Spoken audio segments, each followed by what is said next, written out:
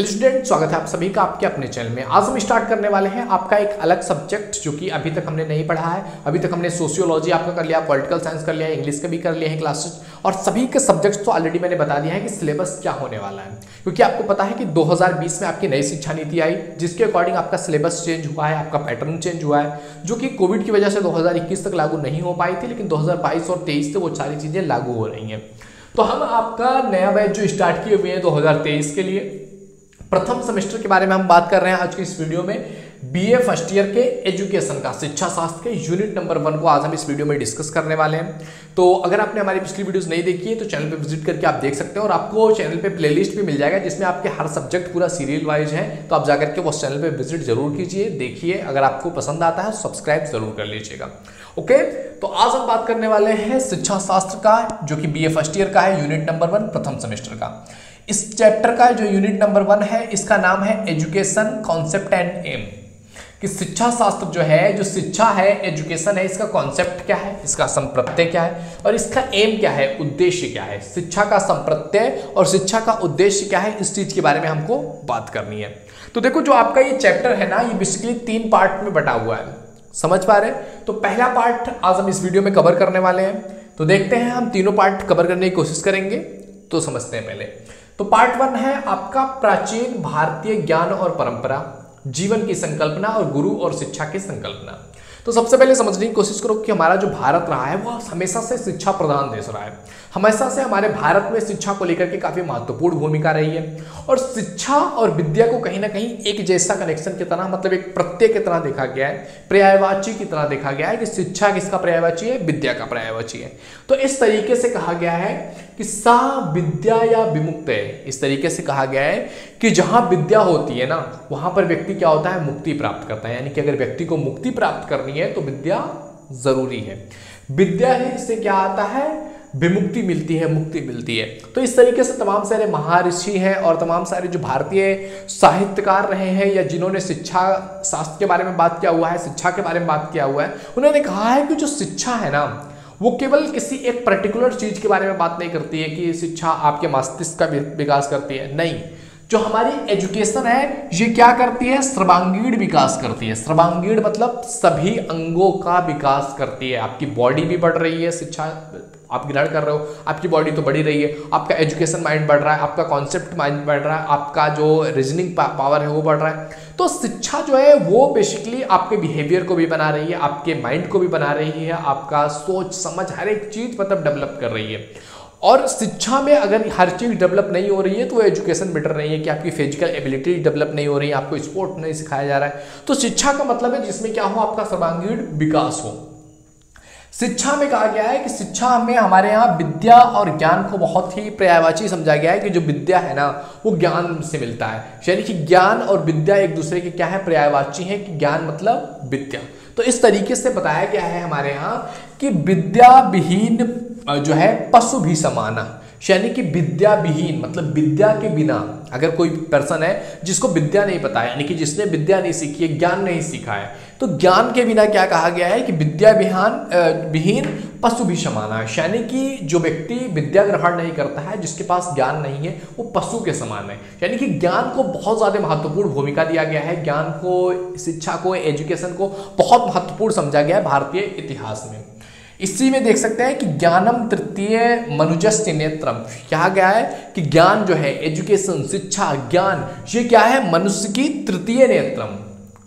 समझ पा रहे हैं? तृतीय मनुजस्त नेत्र मतलब मनुष्य की तीसरी आँख की तरह काम करती है एजुकेशन आपको एक विजन देती है, आपको सोचने समझने की क्षमता देती है। तो एजुकेशन केवल आपको मतलब एक रटाने की बात नहीं है एजुकेशन आपका सर्वांगीण विकास है, जो आपको एक विजन देती है। जो नॉर्मली हम अगर ऐसे ही रहे तो हमको वो चीज़ें समझ नहीं आएँगी, लेकिन अगर आपके पास एजुकेशन है, आपके पास अच्छी समझ, सोच समझ है, एक एजुकेशन आपको अच्छा मिला हुआ है स्किल सेट डेवलप किया हुआ है तो वो आपका एक तृतीय नेत्र की तरह काम करेगी, आप उन चीज़ों को, जिसमें नॉर्मल लोग लोग फंस जाते होंगे उनको आप एक विजन के साथ देख पा रहे होंगे।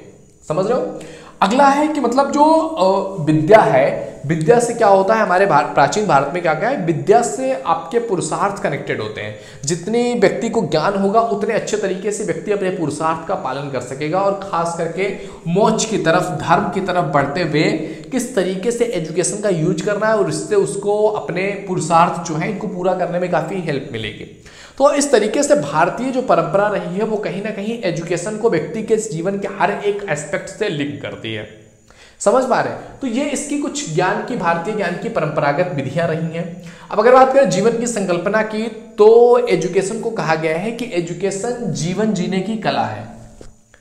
जीवन जीने की कला मतलब हमको इस लाइफ में कैसे जीना है, कैसे खाना है, कैसे पीना है, हमको लाइफ में कैसे बिहेव करना है, जिससे कि हमारी एक अच्छी इमेज बन सके। समझ रहे हो? दूसरी चीज़ है सामाजिकरण। शिक्षा सामाजिकरण का एक बहुत ही महत्वपूर्ण क्षेत्र है। जब हम एजुकेशन ग्रहण करते हैं तो हम सीखते हैं कि हमारे समाज में कौन सी चीज़ें एक्सेप्टेबल है। कौन सी चीज़ें हैं जो एक्सेप्टेबल नहीं है? कौन सी चीज़ें जिसको समाज एक्सेप्ट करती है? कौन सी धारणाएँ समाज मानती है? उसकी सांस्कृतिक, राजनीतिक, धार्मिक, वो सारे आचार व्यवहार कहीं ना कहीं हम एजुकेशन के माध्यम से अपनी एक पीढ़ी से दूसरी पीढ़ी को क्या करते हैं? ट्रांसफ़र करते रहते हैं। तो एक पीढ़ी ने जो चीज़ें सीख रखी है, उसको दूसरी पीढ़ी तक पहुंचाती है।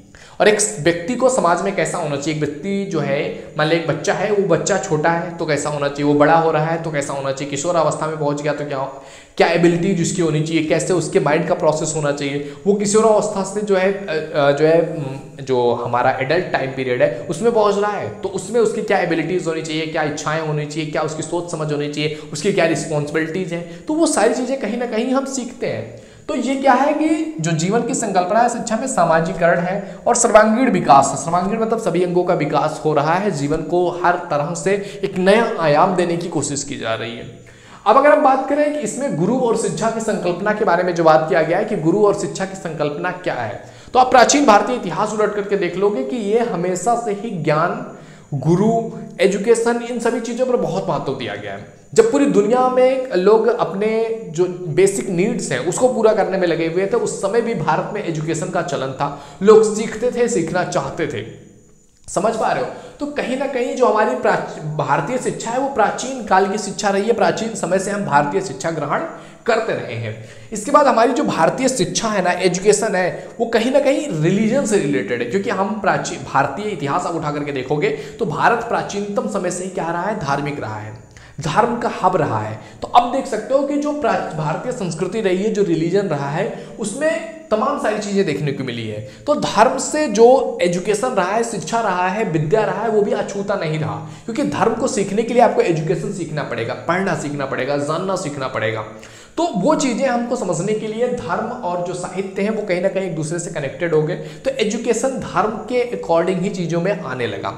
समझ रहे हैं? अब जो शिक्षा रही प्राचीन भारत में, वो शिक्षा दो प्रकार की थी।